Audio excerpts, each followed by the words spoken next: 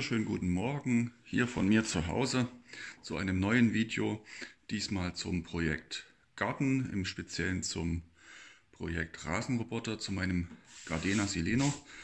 Und der Winter ist durch. Mein Ziel heute ist es, den Rasenroboter auszuwindern, den wieder fit zu machen, sauber zu machen, die Klingen zu wechseln und dann für den ersten Einsatz vorzubereiten. Der Roboter selber stand den Winter über trocken im Keller. Den Batteriestand habe ich zwischendurch überprüft. Die Batterie hat die vier, fünf Monate, die ja eingemottet war, äh, durchweg gut gehalten. Und jetzt ist der nächste Schritt, die Unterseite sich anzusehen und die Klingen gegebenenfalls zu wechseln. Hierzu drehe ich den Roboter einmal um. Dann sieht man jetzt den Aufbau. Und das ist der Klingenteller. An diesem befestigt sind dann die einzelnen Klingen selber. Die hatte ich im letzten Jahr Ende Sommer, Anfang Herbst bereits gewechselt gehabt. Die sehen vom Prinzip her noch relativ gut aus, aber um das Schnittbild für den Rasen hochzuhalten, äh, werde ich diese dennoch heute wechseln. Die Ersatzklingen habe ich bereits vorrätig. Es gibt Originalersatzklingen von Gardena. Es gibt auch Anbieter, die deutlich günstiger unterwegs sind. Da bekommt man jetzt hier so ein 30er Pack an Klingen inklusive der zugehörigen Schrauben. Damit habe ich recht gute Erfahrungen gemacht.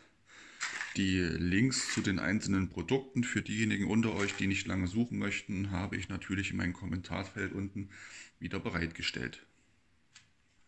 Ich beginne nun zunächst damit, die Schrauben einzeln zu lösen.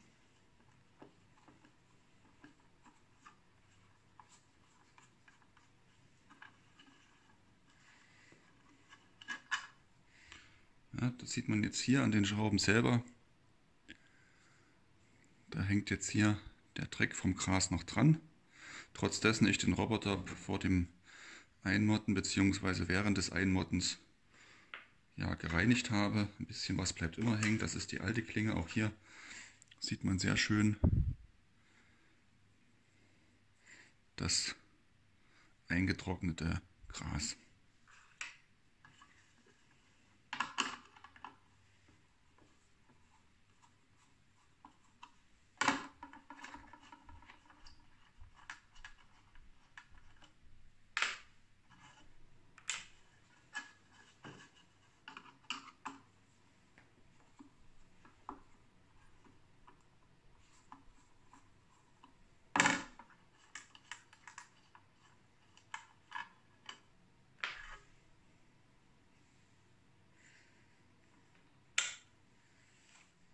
Im nächsten Schritt werde ich dann zunächst den Bereich der Klingenaufhängung reinigen. Auch hier hat sich überall angetrocknetes Gras angesammelt.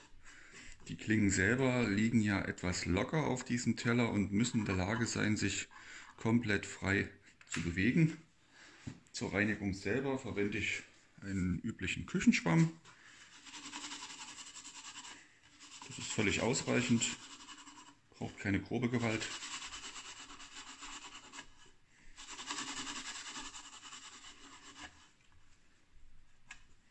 Und das war es auch schon. Und dann kann ich direkt die neuen Klingen einbauen. Die sind auch merklich schärfer als die alten Klingen. Hierzu werden die Klingen einfach nur auf den Teller gelegt in meinem Fall jeweils mit einer neuen Schraube. Zunächst handfest festgezogen.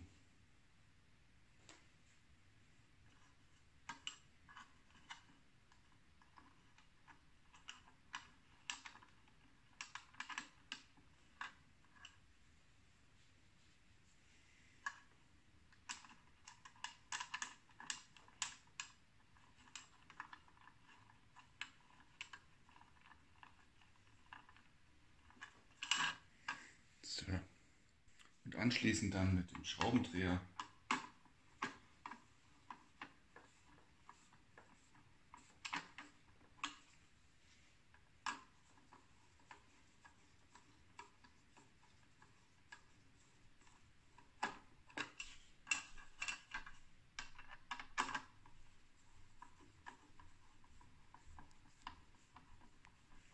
festgezogen.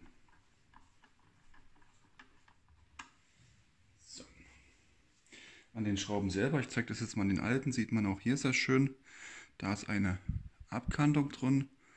Das heißt, dieser kleine Bereich hier ist der Bereich, in dem die Klinge spielen kann. Und wenn der Teller sich jetzt dreht, dann muss die Klinge in sich sich auch drehen können. Abschließend kommt das natürlich in die Entsorgung. Braucht man nicht mehr. Und für einen Klingenwechsel zwischendurch empfehle ich in dem Zusammenhang dann auch das Innenleben des Rasenroboters grob zu reinigen. Eine normale Küchenbürste ist dafür völlig ausreichend. Das mache ich in diesem Fall aber nicht, weil ich das ja erst im Herbst gemacht habe. Nun kommt der nächste Schritt, dass ich den Roboter zunächst nach draußen setze, die Ladestation wieder anklemme und diesen dann in die Ladestation fahren lasse, um ihn zunächst voll zu laden. Bevor ich den Roboter laden kann, muss ich natürlich die Ladestation erst einmal wieder anklemmen. Hierfür nutze ich den zugehörigen Adapterstecker, den baue ich im Herbst immer aus. Ansonsten bleibt er das Jahr über außen in Betrieb. Meine Ladestation ist hier zu sehen. Das Kabel selber ist gegen Feuchtigkeit geschützt. Man sieht es hier am Gummiring.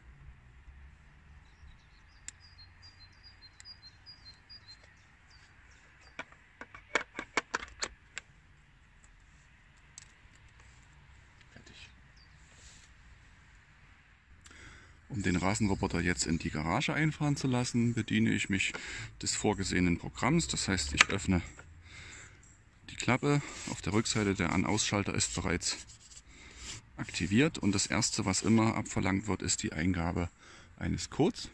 Das werde ich jetzt tun.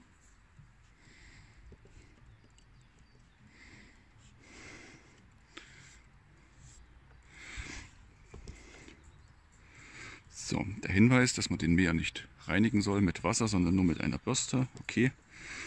Und standardmäßig läuft das Timerprogramm und man sieht jetzt hier den Batterieladeanzeige, den Status. Relativ voll noch. Und ich mache jetzt eins. Ich klicke auf den Parkbutton, setze den Roboter anschließend in die Nähe meiner Kabel, meines Führungskabels, um diesen dann automatisch einparken zu lassen. Ich will nämlich den Roboter jetzt zunächst einmal runter. Das Führungskabel liegt irgendwo in dieser Richtung. Und der Roboter wird jetzt in diese Richtung fahren gelassen. Ich mache also eins. Ich drücke auf Park und das Menü erfragt jetzt, ob es äh, permanent parken soll, also dass der Roboter, bis auf weiteres in der Station bleiben soll oder eben dann nur bis zum nächsten Timer-Einsatz. In meinem Fall wäre das dann der kommende Dienstag um 10.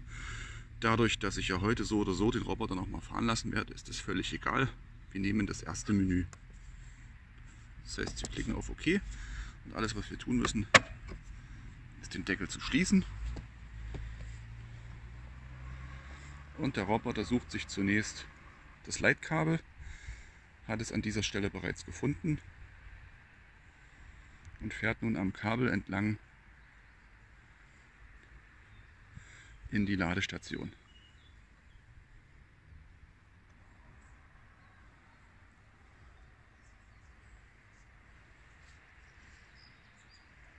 An der grünen Lampe in der Station kann man übrigens an dieser Stelle sehr schön erkennen, dass alle Kabel nach wie vor ordnungsgemäß funktionieren.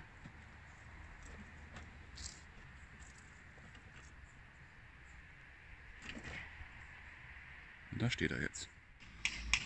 So, der Rasenroboter hat durchgeladen. Erkennbar auf dem Symbol jetzt. Stecker durchgängig in der Ladebalkenbox drinne. Und wir machen jetzt einfach eins, einen Testlauf, indem ich das Menü Start drücke. Und ich werde nun gefragt, möchte ich den Hauptbereich, Nebenbereich oder eben den Timer ausschalten. Mein Bereich Timer ausschalten, okay und ich möchte gern für 24 Stunden den Timer ausschalten. Das heißt 24 Stunden am Stück würde der Roboter zunächst laufen. Okay, Deckel schließen.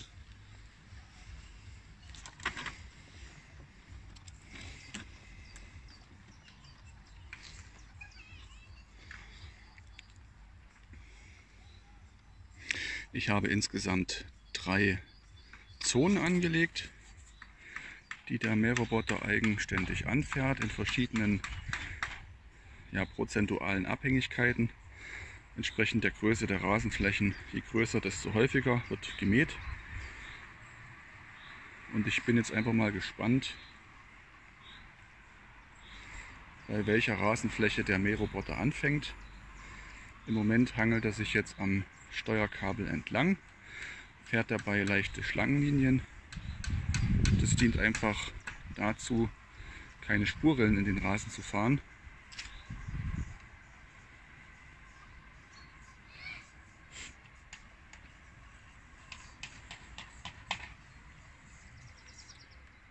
So.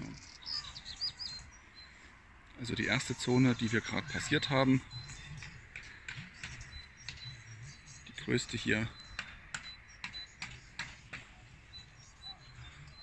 wurde überfahren. Die zweite Zone ist diese hier.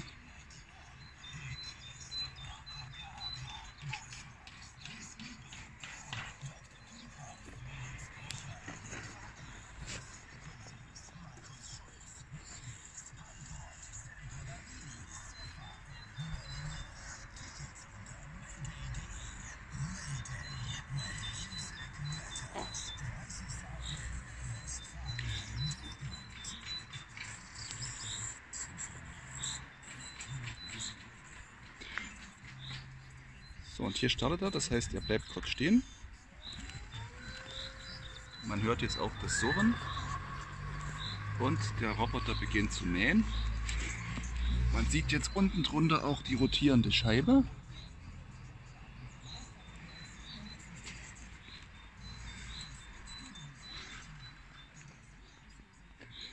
Und nach dem Chaos-Prinzip wird der Mähroboter jetzt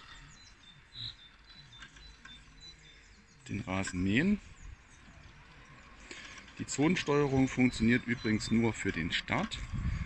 Wenn das Zufallsprinzip den Roboter jetzt in eine andere, in die erste oder dritte Zone in diesem Fall lenken sollte, dann wird er eben dort weiter mähen.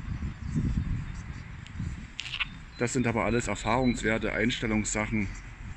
Da kann man vorneweg nicht viel planen. So habe ich zum Beispiel bemerkt, dass der Roboter überdurchschnittlich häufig in die dritte Zone fährt. Das ist zwischen meinem Gartenhäuschen und der Hauswand hindurch ist noch eine Rasenzone. Warum auch immer. Relativ häufig fährt er da rein. Den Weg hinaus findet er aber eher selten. Und diesbezüglich habe ich da hinten diese Zone eben lediglich mit 10% angegeben. Das heißt, nur in 10% aller Starts wird der Roboter bis in die dritte Zone durchfahren um eben dort zu mähen.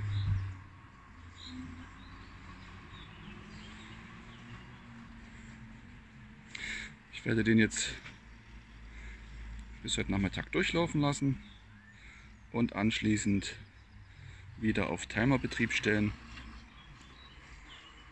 Und wie vorhin bereits gesehen, wird er dann erst am Dienstag starten. Heute ist Samstag.